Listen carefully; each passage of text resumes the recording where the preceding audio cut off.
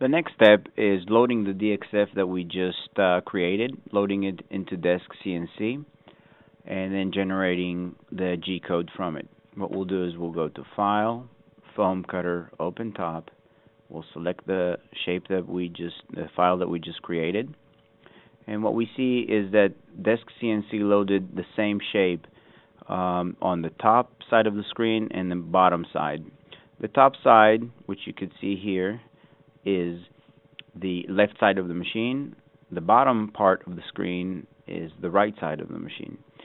By default, Desk CNC will put the same shapes on, on both sides. Uh, if you want to cut a tapered shape, like a tapered column or a wing, you would load one shape on the top and then do the same process again. This time choose the um, the bottom and select a different file. In this example, since the cut is going to be straight, we don't need to worry about that. Both shapes are going to be on both sides.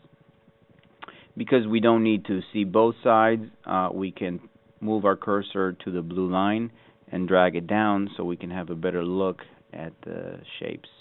The next step is to see what is the sequence that these shapes will be cut. In order to do that, we'll go to the View and Information tags. What we see here is that for some reason Desk CNC decided that shape this is shape number one, this is shape number two, three, and four. If we were to generate G code with that, uh, the wire would enter here, exit somewhere here, enter here, exit, and so on.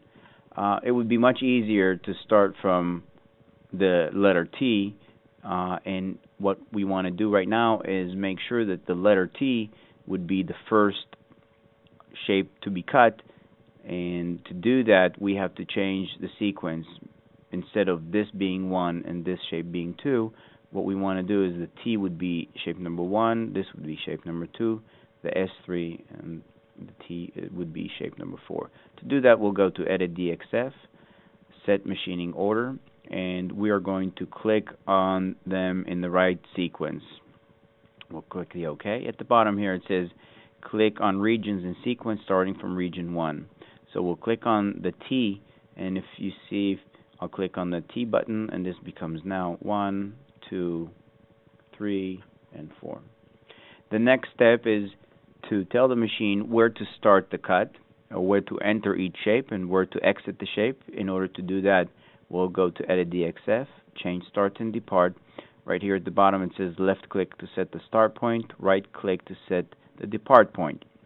So we're going to move our mouse over here, our cursor. We're going to left mouse click this point. We're going to right mouse click this point. Left mouse click on the E. Right mouse click here.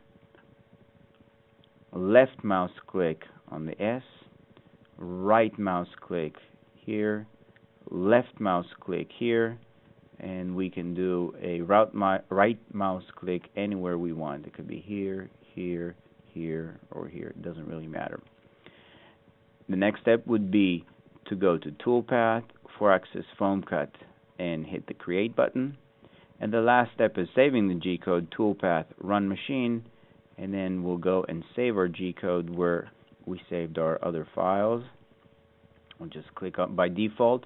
Desk CNC will take the same name as a DXF file and generate the same name with a different extension for the G code. We'll just hit the save button and the G code was generated. We could see the path. The, this is where the wire would go. It would enter the E here, exit the E here, enter the S, exit S, enter the T. If we look at the G code, the first line of G code would be X, Y, Z, and A, which is a four axis, and then the feed rate, which is how fast the machine will go to will go, which is 19 inch per minute. We're done with step number two. The last step would be to load this shape into our cutting software, which is Mach 3.